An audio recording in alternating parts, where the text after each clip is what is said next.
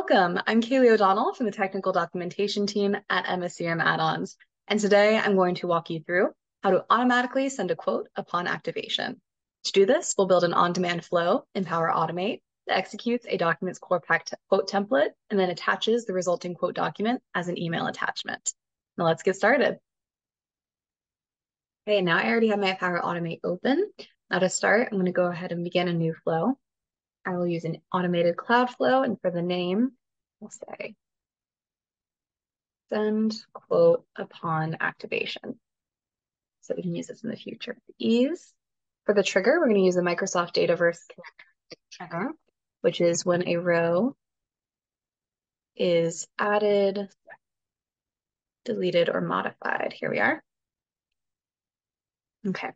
And once that loads, we can begin with our first action. So now you see this is our first step of the flow.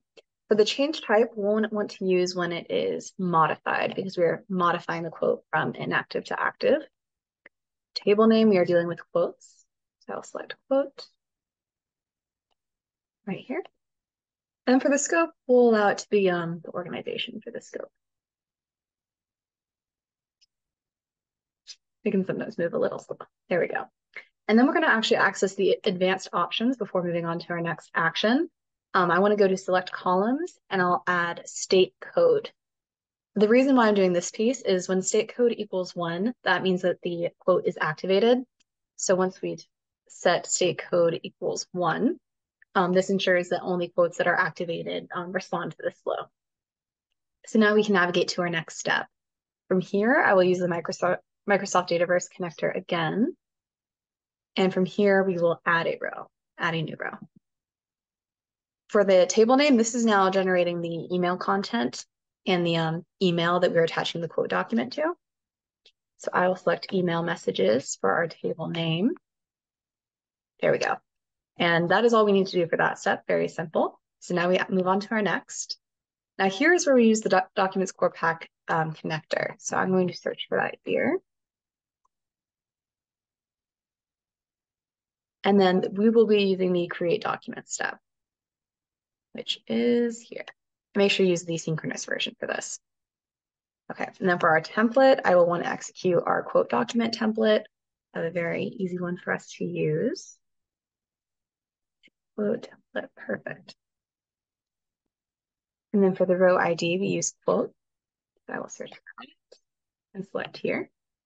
And for the file type, we'll keep it PDF. Very simple. Perfect.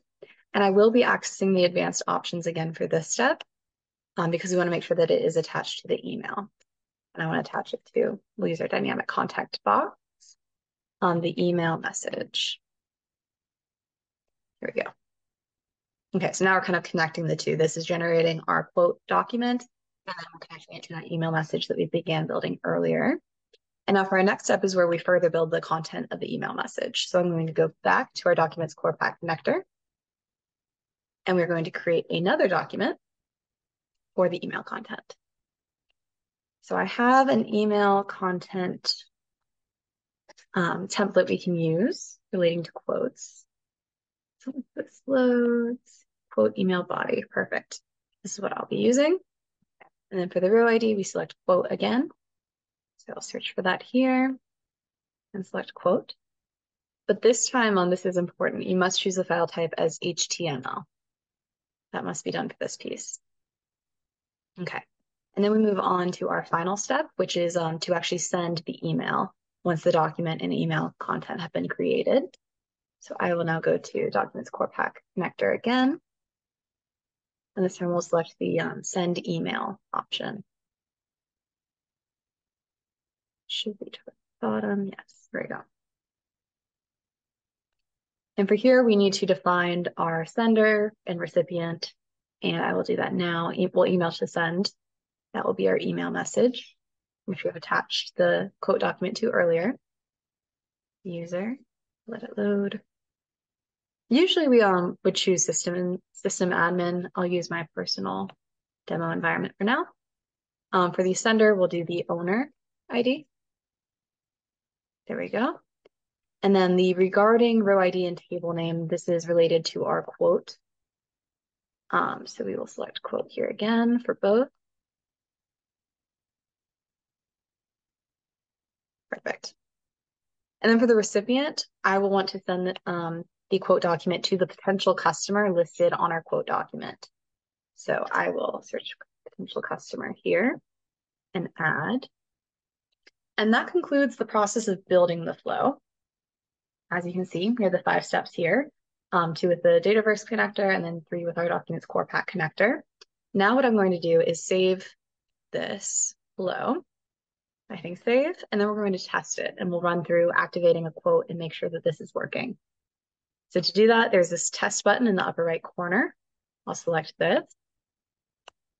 And now once I perform the starting action, which is activating a quote, we can um, see if it is sent as planned.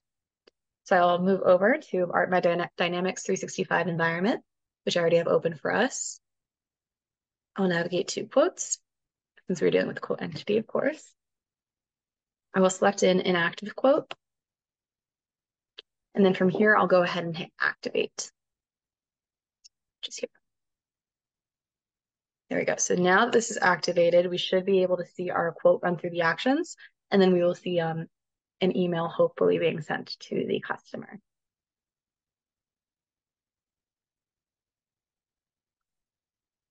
So now we can see that the flow is running through the actions and sometimes a few steps take a little longer than others, depending on the steps involved. That is perfectly normal.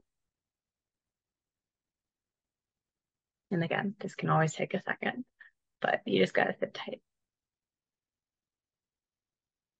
Perfect. And then as that finishes up, I'm going to move over to my inbox um, and see if this email is sent as planned from the consumer or potential customer's perspective. Here we go. Okay. We can see that the quote email was successfully sent. And let's check the quote document attached. Perfect. It is the correct potential customer contact under the quote that I activated. And everything looks as is. So this is a sample of um, what a finalized document could look like upon automated generation and sending. But yeah. Now that concludes my short demo of how to automatically send a quote upon activation. Thank you all so much for watching. And as always, if you have any questions, please feel free to drop them in the comment section below. Thank you all for watching.